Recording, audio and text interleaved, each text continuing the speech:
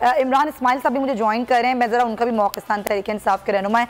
इमरान इसमाइल साहब thank you so much for your time ये मुजाकरात कब होंगे? असल सवाल ये टीम आपकी तरफ़ से भी कमेटी बनी, इनकी तरफ़ से ही बनी, लेकिन आज वज़ीर आज़म ने कह दिया कि कैसे मुजाकरात करें? पीटीआई तो बढ़ावा दे रही है मामले को ठीक करने के बजाय। नहीं, वो तो मुजाकरात पे आने के लिए तैयार नहीं है। उन्होंने तो कह दिया कि वो ना बंदूक के ज़ोर पर मुजाकरात करेंगे, ना वो हथौड़े के ज़ोर पर उन्होंने उन्होंने सुप्रीम कोर्ट को भी हथौड़ा कह दिया है तो मेरा नहीं ख्याल कि ना इनके पास कोई कानून की इज़्ज़त है ना कोर्ट की इज़्ज़त है ना जजेस की इज़्ज़त है ना इनको कोई काम है अब ये उनके जो जजमेंट है इंतबात कराने की उसको भी डिक्लाइन करें और जो एक रास्ता दिया था सुप्रीम कोर्ट ने कि मुजाकरात का उसमें भी इन्होंने आज जो चार बजे डेडलाइन थी इनकी इन्होंने जमा कराना था इन्होंने वहाँ इनकार कर दिया कि वहाँ हम्म। नहीं आएँगे और कोई जमा नहीं कराएँगे सो हम्म। so, इनकी नीयत तो साफ़ ज़ाहिर है देखे ना जो लोग ईद की नमाज़ पढ़ने का एक भी मिनिस्टर जो है कि पब्लिक में नहीं जा सका और उन सबने अपने घरों में इधर उधर नमाज़ अदा की, छुपा की तो इसका मतलब है कि पब्लिक में जाने से प्रॉब्लम है। वोट लेने तो पब्लिक के पास ही जाना है। और पब्लिक में जा नहीं सकते हैं। वोट इमरान खान का है। तो इलेक्शन इनकी सियासी मौत है और उसके लिए ये जंग लड़े हैं। वो पाकिस्तान को किनारे लगा दिया इकोनॉमी तबाह कर दी, लेकिन वो उनकी जंग जारी है।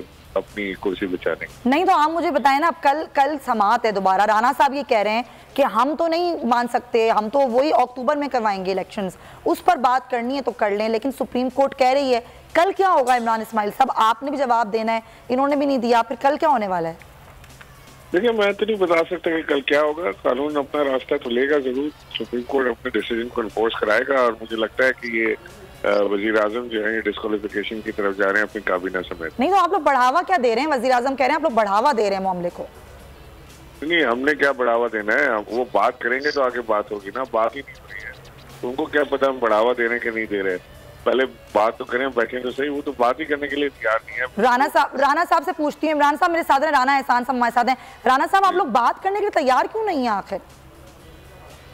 देखिए बातचीत जो है, वो पार्लियामेंट, वो फोरम है जहाँ फैसले होने चाहिए। पार्लियामेंट ने अपना फैसला जो है, वो सुना दिया है।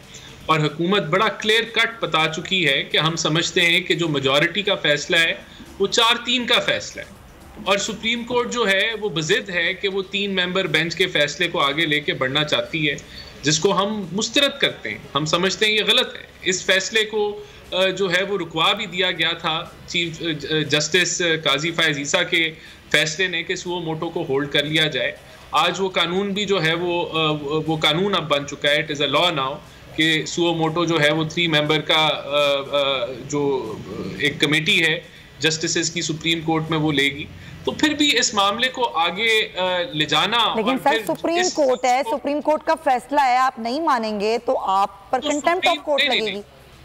नहीं। सुप्रीम कोर्ट अगर गिनती नहीं कर सकती अगर सुप्रीम कोर्ट को गिनती नहीं करनी आती तो फिर ये जो आइन में तो ये लिखा है ना कि वन प्लस वन टू है ये तो बड़ा क्लियर कट है। तो अगर आप गिनती अपनी मर्ज़ी की कर लें तो वो गैर आईनी है ना जी। सर तो लेकिन अगर आप अपनी मर्ज़ी के फैसले को माने और अपनी मर्ज़ी के फैसले को नहीं माने तो ये तो फिर प्रैक्टिस बन जाएगी ना राना साहब?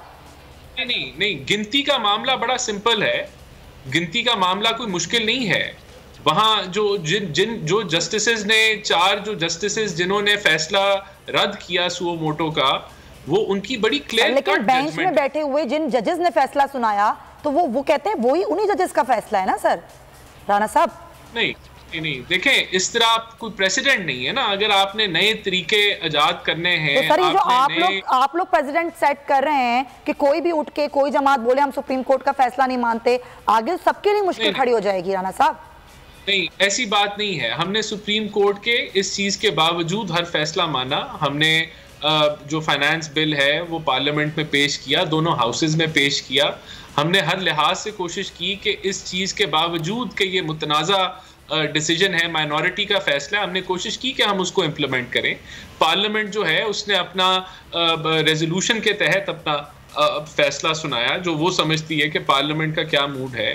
फिर ये लेजिस्लेशन की गई जो है प्रैक्टिस एंड प्रोसीजर बिल के ऊपर, उसको भी जो है वो सुप्रीम कोर्ट ने एक मखसूस बेंच के ज़रिए जो है वो रद्द करने की कोशिश की, जिसकी कोई नवीद नहीं मिलती। तो ये सारे मामला जो हैं, ये सुप्रीम कोर्ट खुद अपने आप को मुतनाज़ा इसमें कर रही है, जो कि नहीं करना चाहिए।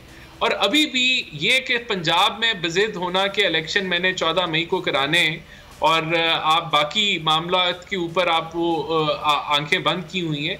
तो ये और फिर 63 ए की जिस तरह मैंने आपको बताया कि वो री राइटिंग ऑफ़ कॉन्स्टिट्यूशन है फिर ऑडियो लीक्स जो अभी आई हैं तो ये सर वो ऑडियो लीक्स पे भी बात ये है कि भाई हमें तो नहीं पता ना सर हमने तो कभी नहीं बात की उन लोगों से। हमें क्या पता कि वो उनकी आवाज़ है या नहीं है।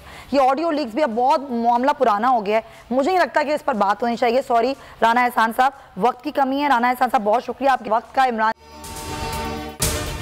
अगर आपको ये वीडियो पसंद आई है तो सब्सक्राइब करें और बेल आइकन पर क्लिक करें।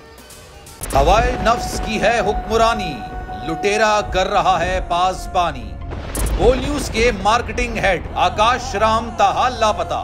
तफ्तीशी इदारे जवाब देने से कासिर। अहले खाना परेशान बेटे की जुदाई में माँ गम से निढाल। जो बच्चो हिंदू पर आए थे जो पाकिस्तानी। मुखे मेहरबानी करे पंहिंजो आकाश वापस कयो हुकूमत से बेकसूर और मुहब वतन बेटे की बाजियाबी के लिए फरियाद। आकाश राम के अगवा के खिलाफ अहल खाना की जानब से सुप्रीम कोर्ट में दरख्वास्त दायर। सुप्रीम कोर्ट के चीफ जस्टिस उमर अता बंदिया से आकाश राम के अहल खाना की जल्द समात की इस्तदा। मुश्किल की इस घड़ी में आलमी मीडिया ने भी उठाई आवाज़। सी एन एन आज तक इंडिया टुडे टाइम्स नाउ समेत आलमी मीडिया ने आकाश राम के अगवा के खिलाफ दिया बोल का साथ। उफ क्या जुल्म है। बोल इंसाफ का मुंतजर।